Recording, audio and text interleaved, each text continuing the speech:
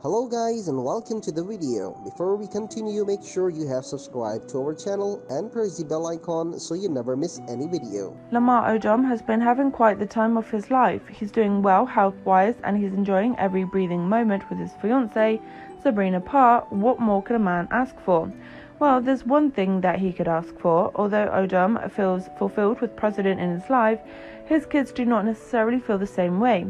Recently, Parr have honest insight into the dynamics of her current family, and it is safe to say that she has her her stepmom work cut out for her. A few days ago, a report confirmed that Parr and Odom's daughter Destiny got into it. Apparently, the soon-to-be wife overheard Destiny criticizing her parenting skills and everything about her in general. It did not take long for the jury to start exchanging words, but before they could lay hands on one another, Odom came to the rescue. Speaking of what else a man like Odom could ask for, well, he could ask for peace between his fiancée and his daughter. Sabrina Parr told the neighborhood talk that she fully understands where Odom's kids are coming from. What they haven't told you is that I've spent time with them, kicked it with his daughter, had the kids flown out to LA to surprise their dad, and helped orchestrate one in one time for him and the kids.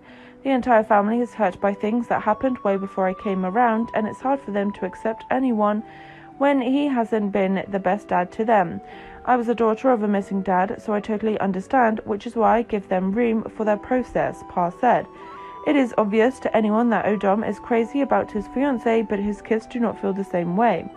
In the beginning, when the lovers announced that they were engaged and planning to get married, all hell broke loose on social media. One of Odom's son, Lamar Jr., took to the comment section of his dad's post to slam him.